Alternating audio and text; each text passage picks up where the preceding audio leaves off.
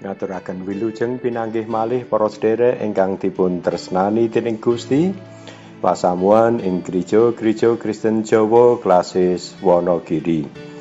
Renungan padinan dina Kemis Legi 24 Februari taun 2022. Wausan kapendet saking wulang bebasan tigang dosa ayat siji tekan songo kawasta ayat ingkang kaping wolu. Ulang bebasan telung puluh ayat wolu panyuwunan ing ngarsanipun Gusti Allah. Kawula katebihna saking wicanten goroh menapa malih sampun paduka ganjar kamlaratan utawi kasugihan. Nanging kaparing ngono rejeki sak cekapipun kemawon. mekaten wulang bebasan telung puluh ayat wolu ingkang rahayu kang nampa sabda pangandika lan ngestokake ing uripe haleluya amin Para sederek pasamuan menawa kaparingan panyuwunan kang bakal dikabulake dening Gusti Allah. Apa kang bakal kita suwun? Agur bin Yake ing wulang bebasan telung puluh nyenyuwun rong prakara ing ngarsane Gusti Allah. Panyuwune prasaja banget ya iku supaya diadohake saka tembung sing goroh lan kaparingan rejeki sing cukup dudu kasugian lan uga dudu kamlaratan. Para sederek ana seri iklan sing lucu. jin sing ujug-ujug metu lan menehi marang wong sing nemokne.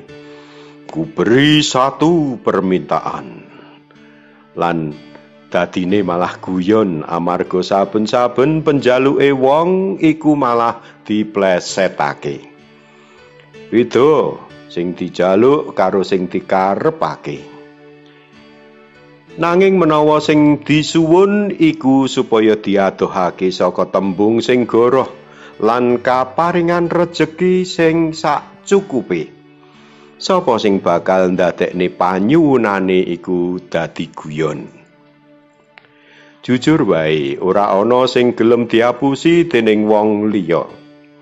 Apa maneh nalika sing ngapusi iku wong sing wis dipercaya. Wis sedhak lan rumaget. Amarga diapusi iku pancen ora kepenak.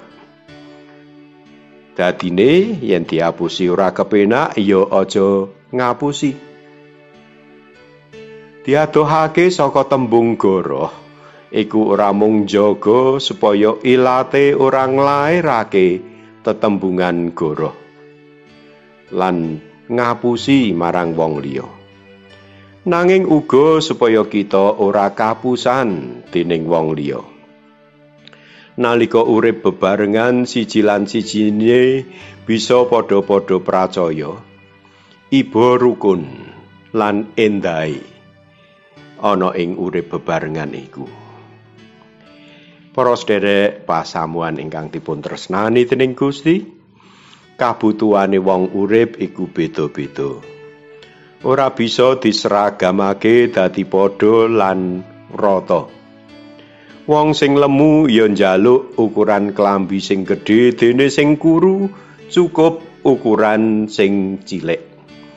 Yen kabeh diwenehi ukuran klambi sing padha ana sing sesak nanging ana uga sing logro kegeden.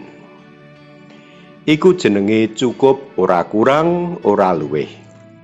Lan rasa cukup iku nampa apa anane.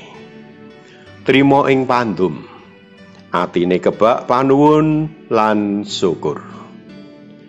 Muga kita bisa uga ndedonga nyenyuwun kaparingan cukup kaya dene panyuwunane Agur bin Yake amin Prosderek tuntunan kanggo nyuraos menapa panjenengan sampun kacekapan ing kabetahan padinan wanci menika. menawa kita nembe bisa tetulung marang saderek sanes menapa menawa sampun sugih lan kaluberan monggo katuran panjenengan nyuraos lan kita ndedonga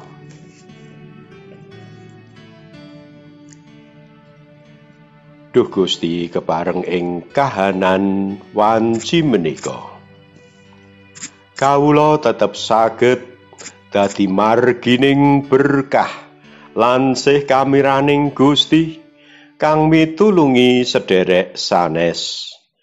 Napa malih kang nembe ing kekurangan lan ing kabutuhan wonten ing Gusti Yesus kawula ndedonga amin